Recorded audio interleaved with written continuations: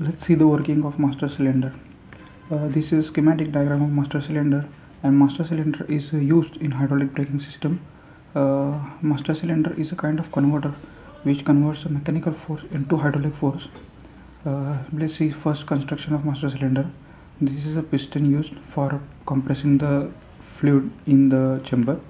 This is a return spring. This is a check valve used to get a ultimate pressure. This is a bypass port this is intake port. This is reservoir which maintains the amount of fluid inside the compression chamber. This hole is casing. This is push rod. Here is our brake pedal.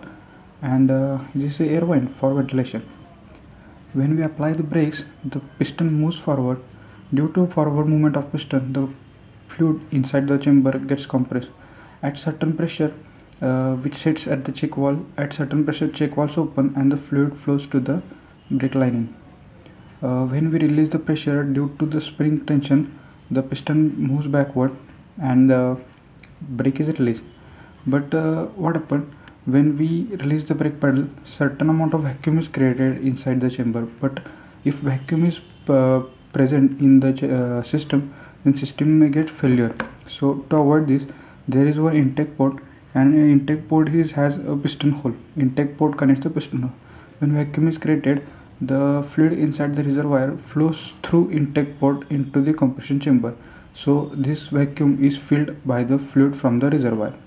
When the fluid from brake lines comes automatically excessive fluids goes back to the uh, reservoir with the help of this bypass port like how this system works